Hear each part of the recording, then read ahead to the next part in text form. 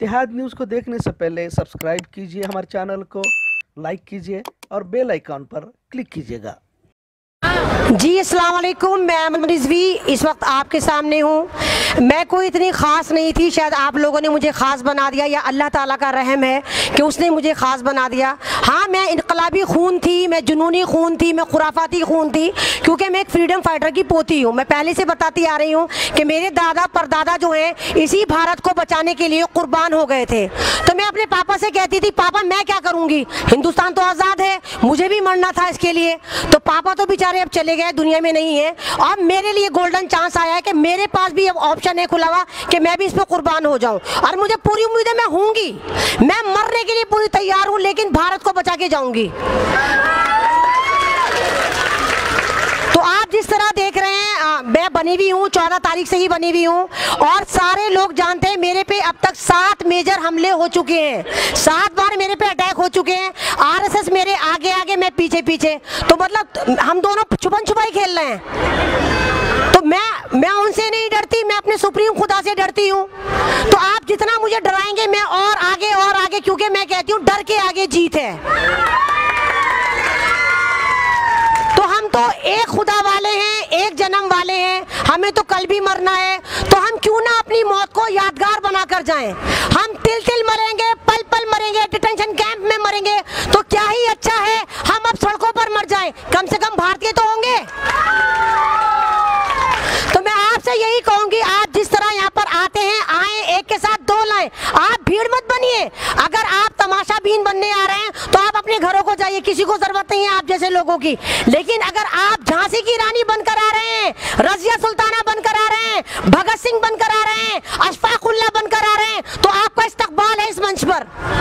क्योंकि आप सब भारत को बचाने के लिए आ रहे हैं। यहाँ पर बिरयानी नहारी तारी नहीं चल रही, जैसे गोदी मीडिया परेशान है। बिरयानी खिलाई जा रही है हमें सत्तर, पिछहत्तर दिनों से, है ना? हम मुसलमान बिरयानी वाले, हम थके भी नहीं बिरयानी खा खा के, पर वो खिलाई जा रही है। पहले आप देखे, हर बात पाकिस्तान, मोदी जी, हो गया पाकिस्तान। मोदी जी जीडीपी खत्म पाकिस्तान। मोदी जी किसान खुदकुशी कर रहा है पाकिस्तान। मोदी जी एजुकेशन महँगी हो गई पाकिस्तान। मतलब कोई भी बात करिए, पाकिस्तान पाकिस्तान होता था। अब पाकिस्तान तो यही बन गया शाहीन बाग में। अब बेचारे इतनी दूर क्यों जाएँ? आप कोई भी बात पूछे मोदी जी, शाहीन बाग। मोदी जी, शाहीन बाग। तो ये बावलों की सरकार है मैं वेरी फ़र्स्ट डे से कहती आ रही हूँ पढ़े लिखे तो नहीं। व्हाट्सएप एजेंडा चलाते हैं, दो तीन सौ साठ रुपए का रिचार्ज कराया। इनका दिमाग भी जियो की तरह है, कभी टावर आते हैं, कभी जाते हैं। ये बावलों की सरकार, इनसे ज़्यादा काबिल आप हैं। ये हमें टेंट हाउस वाली कहते हैं, हमें बावली कहते हैं कि हम पर्दा नशीन है, हमें अकल नहीं है। तो मैं कहती हूँ आप बावलो, हमसे ही डिबेट कर लो। हमसे ही कर लो। एक एमन रिजवी से ही कर लो। मैं तो जाहिल हूँ, चलो, मैं अंगूठा छापू, मैं पढ़ी लिखी नहीं हूँ भाई। आप मुझसे ही कर लो डिबेट मैं ही आपको हरा दूँगी। कितना बीजेपी का मेरे सामने लिया है, मुझसे डिबेट करे और मुझे समझाए इस बिल की नौयत के बिल है क्या? ये ये कह रहे हैं कि नहीं, हम नागरिकता देंगे। अबे जाहिल जो नागरिक है, उनको तो कहते हैं नागरिक है वो। बाद में तू देना, तू कह रहा हम पाकिस्तान से लाएँगे, यहाँ से लाएँगे, वहाँ से लाएँगे। पाकिस्तान वाले बावले हैं लुटवाने के लिए बेटियाँ लाएँगे तुम्हारे से।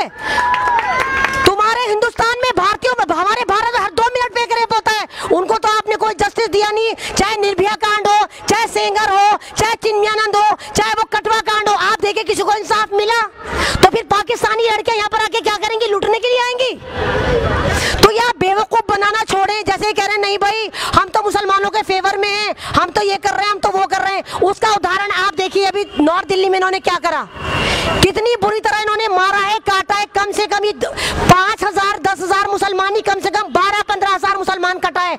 मैं ग्राउंड रियलिटी देख कर आई हूँ, वहाँ पर क्या कर रहा है? एक शिव बिहार में साढ़े तीन हज़ार मुसलमान कटे हैं। तो आप ये मत सोचिए, दो सौ, ढाई सौ मरे नहीं बारह पंद्रह हज़ार मरे आप सवाल करिए, जब मुसलमानों के पाँच हज़ार मकान जला दिए गए तो पाँच हज़ार के वो लोग कहाँ गए? मुसलमानों को आपने चुन चुन के मारा, उनका बिज़नेस खत्म कर दिया, उनकी दुकानें जला दी, पहले आपने घरों को लूटा, आपने दुकानों को लूटा, उसके बाद आपने चिन्ह करा कि अगर बीस हिंदुओं के मकान में एक मुसलमान का मकान था तो आपने जला दिया। यानी आप टेरर की राजनीति कर रहे थे। तो आप टकलू से आप सवाल करें, ये कह रहा है कि वो पाँच के जो मकान इन्होंने हमारे जलाए हैं तो क्या पहले सायरन बचाया था अपनी अपनी आइडिया निकाल लो मकान जलाने आ रहे हैं तो उनकी आइडिया तो खत्म हो अभी टकलू बना के देगा उनकी आइडिया। कहाँ से आएँगी? तो ये बेवकूफ़ बनाना बंद करें। पूरी दुनिया इन पे थू थू कर रही है, लेकिन ये बावले सुधरने को तैयार नहीं है। वो टकलू नंबर टू योगी कहता है, मुसलमान की औरतों को कबर में से भी निकाल के रेप कर लो। इतने कद्दावर नेताओं के इतना गलत गलत बयान देते हैं। वो से भी बड़ा बावला, उसको देखो, उसने होर्डिंग लगा दी। जो मेरी तरह सोशल एक्टिविस्ट थे, जिन्होंने भी आवाज़ उठाई, सबकी उसने होर्डिंग लगा दी कि भाई इसका एड्रेस ये है जो लड़कियों को उठा लो, लड़कों को उठा लो। सुप्रीम कोर्ट कह रहा है, आप ऐसा नहीं कर सकते। उसके बावजूद ये हुकूमत, इनके जितने भी एमएलए वगैरह दादागिरी पे उतरे हुए हैं, अगर ये कहते हैं, देश के गद्दारों को गोली मारो सालों को तो वीआईपी ट्रीटमेंट हम कहते हैं, भैया मोदी, हमारी सुन, पकड़ के जेल में, चलो भाई, आतंकवादियाँ डाल दो। तो इस तरह नहीं होगा आप जिस तरह बैठे हुए अपने जज्बे के साथ आए, आप ये सोचे कि आप मौत का मुकाबला करने जा रहे हैं, आप संविधान बचाने जा रहे हैं। आप सबसे कहिए, हम संविधान बचाने निकले हैं। आप साथ चलो। हम यहाँ पर बिरयानी खाने नहीं आए। हम तो जीने के लायक खाते हैं। अरे, मेरा सात किलो वज़न कम हो गया। मैंने खाना खाना छोड़ दिया। मुझे नहीं मालूम मुझे कब खाना मिलता है। पूरे दिन पागलों की तरह फिरती रहती हूँ। भटकती आत्मा बना दिया मुझे एनआरसी ने। तो जब मैं निकल सकती हूँ तो आप भी नहीं कर सकती हैं। मैं अपने बच्चों से हमेशा यही कहकर आती हूँ, अगर आज वापस नहीं आई तो समझना अम्मा भी कुर्बान हो गई दादा की तरह। तो हम सब कुर्बान होने के लिए बैठे हैं। आप हमें मार दीजिए। आर्मी आपके पास, मीडिया आपके पास, हुकूमत आपके पास अथॉरिटी आपके पास। तो फिर किस बात की देर है? आप हमें मार दीजिए। या तो आप हमें बिल लीजिए मिल लीजिए, या आप हमें मार दिए, क्योंकि इससे कम सौदा हम भी नहीं करेंगे। हम भारतीय थे, भारतीय हैं, और भारतीय होके मर जाएँगे, लेकिन अपनी नागरिकता पर आँच नहीं आने देंगे।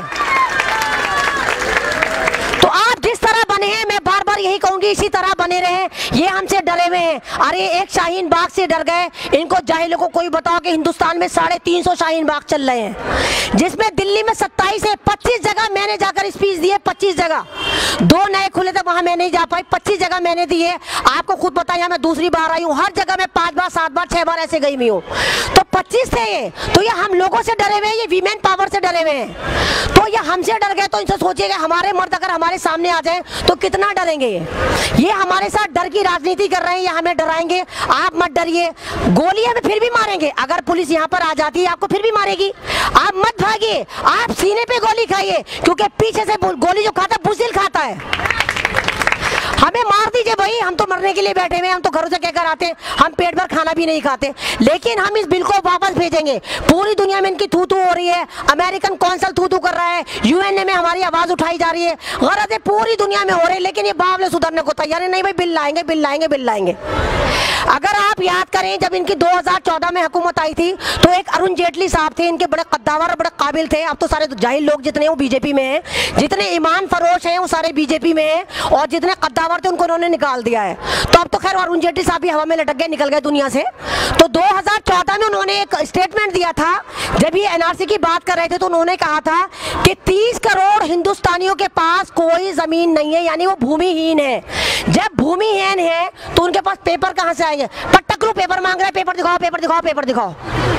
एक करोड़ पैतालीस लाख लोग जो है, बेघर है, जिनका अपना कोई मकान नहीं है। तो इस जाहिल से कोई सवाल करे, जाहिल जब मकान नहीं है तो पेपर क्या तेरे खानदान से लेकर आएगा? उठा के चुरा कर, तुम्हारी तरह चोरों की तरह के।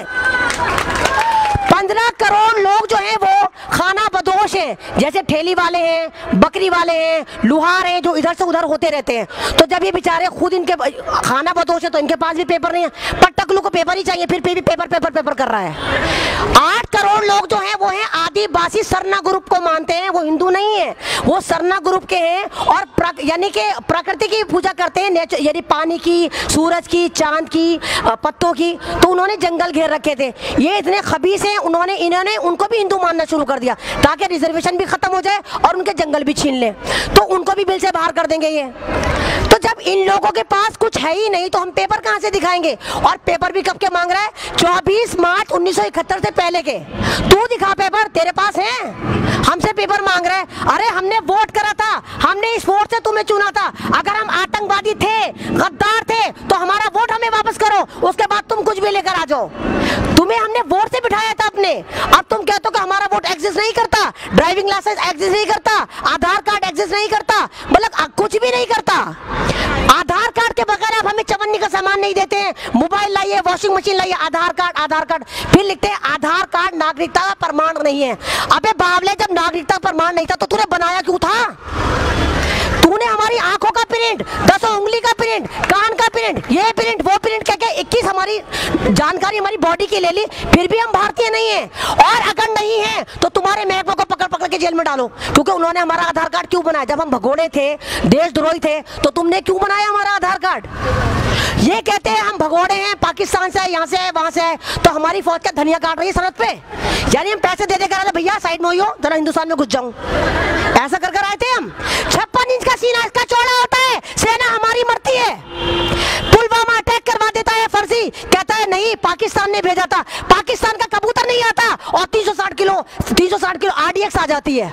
आज उन लोगों को इसने चवन्नी फंडिंग नहीं करी। ढाई करोड़ का, ढाई सौ करोड़ का उनका कंपनसेशन हर साल का होता, नहीं देता। सियाचिन ग्लेशियर है, वहाँ पर सबसे ज़्यादा डेंजर जोन में हमारी फौज जो है, खड़ी हुई है। उनको कुछ नहीं देता, जूते फट के कहता, सीलो, सुई से सीलो। हमारे लिए कुछ नहीं है, दो करोड़ का सूट पहन के कहता, चाय वाला हूँ। तो तूने चाय किसको बेची? हमने तो पीनी, किसको बेची चाय? मैं तो एक करोड़ से पूछ पूछ के थक गई कि भाई तूने चाय किसको बेची एक बंदा लिया जो कहते हमने मोदी की चाय पी मैं मान दूँगी बाकी मोदी चाय वाला है। मैंने एक करोड़ लोगों से पूछ लिया, सब कह रहे नहीं पी नहीं पी। तो तूने चाय किसको बेची, ये बता दे भाई। चाय वाला हूँ, चाय वाला हूँ, चाय वाला हूँ। आज जब तू चल, चाय वाला है तो तुझे संविधान की क्या तमीज? मेरी गली के नुक्कड़ पे चाय वाला बैठता है, उसको तो कुछ नहीं पता संविधान का। तूने संविधान को हमारी ऐसे बना दिया केजी क्लास का।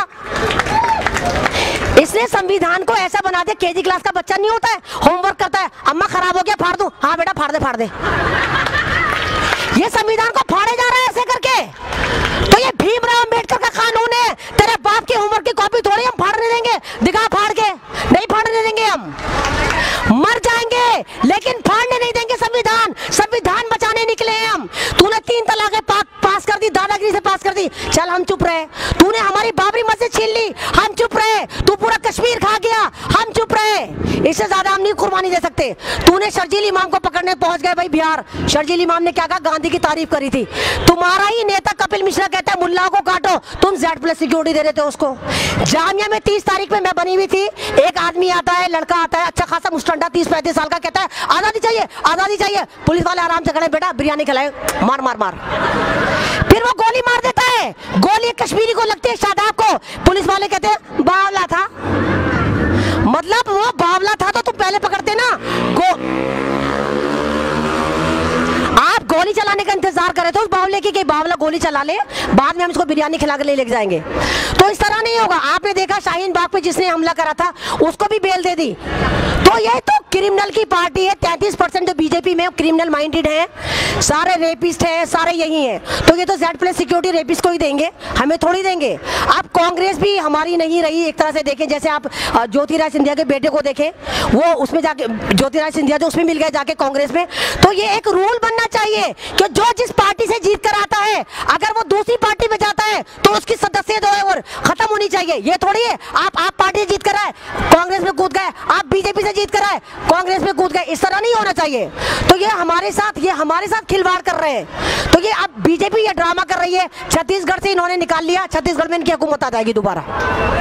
दिल्ली में आपने केजरीवाल साहब से देखा, केजरीवाल साहब ने कैसे करा, लो, पानी फ्री, बिजली फ्री, हम कितने कुछ आए हाय, हमें बिजली पानी फ्री मिल रहा है। बड़े खुश थे ना हमारे भैया केजरीवाल, हमारे भैया केजरीवाल। कर रहे थे ना? क्या करा केजरीवाल ने? दोबारा सीएम बना। पंद्रह दिन में कहा, जाओ, मुसलमानों का खून भी फ्री मार लो, तीन दिन दे दिया उसने। मुसलमानों का खून फ्री कर दिया उसने आरएस के दल्लों पर, पिल्लों पर। और सबने काटा। और इतनी बुरी, मैं कह रही, मारना था, मार देते, गोली मार देते, लेकिन इन्होंने गोली नहीं मारी। इन्होंने गर्दनें काट दी। इन्होंने बॉडी पे ऐसे कट लगाए कि जैसे मैरिनेट करते ना चिकन को, इतनी बुरी तरह मारा है इन्होंने मर्दों को और औरतों को। तो आप उस जुल्म को सोच भी नहीं सकते मैं दो दिन हॉस्पिटल में रही हूँ वो जुल्म देखकर कि मेरा दिमाग खराब कि इतनी बुरी तरह कटे हैं हम। और फिर एक, हालाँकि हिंदू मुस्लिम फिसाद नहीं था, ओखला में चार मंदिर हैं आप आकर देखिए, उन पर बाल बागा नहीं हुआ। ओखला में चार परसेंट नॉन मुस्लिम रहते हैं, उनको हमने कुछ नहीं कहा, बहुत रॉयल पे हैं, कुछ नहीं कहा। जाफराबाद में बहुत सारे हिंदू हैं, हमने उन्हें कुछ नहीं कहा, दो मंदिर हैं। तो फिर हमारी मस्जिदें क्यों शहीद हुई? हमारी मस्जिदों में शराब पी गई, कलाम पाक को जलाया गया इमाम दो इमामों को मैं जानती हूँ जिनको मार दिया गया और उनकी डेड बॉडी नंगी करके घसीट रहे थे सड़कों पर। अब आप ये सोचेंगे, वो वीडियो ना तो मैंने बनाई, ना आपने बनाई, हम तो मर रहे थे, पिट रहे थे। तो वीडियो किसने बनाई? वीडियो भी इन पिल्लों ने बनाई, ताकि हमें डरा सके। हम नहीं डरे, हम उतनी शिद्दत के साथ आज भी बाहर है। क्योंकि हम मुसलमान हैं, हम नहीं डरते। हम सुप्रीम खुदा से डरते हैं। हम जमीनी खुदाओं से नहीं डरते। हमारी मौत आई है, हम अभी गिरेंगे, पट से मर जाएँगे। और नहीं आई तो सारी दुनिया हमारे पीछे लगा नहीं मरेंगे। तो आप अपना ईमान कमज़ोर कर मज़बूत कर कर आइए हिब्बुल बतरी भर कर आइए मत डरिए किसी मौत से। और मर भी गए तो शहीद शहीदी तो होंगे आप। आप मरने के लिए आइए। तो बस मैं यही कहूँगी कि मौत उसकी है करे जिसका जमाना अफसोस, यूँ तो दुनिया में सभी आए हैं मरने के लिए। जय कलाम।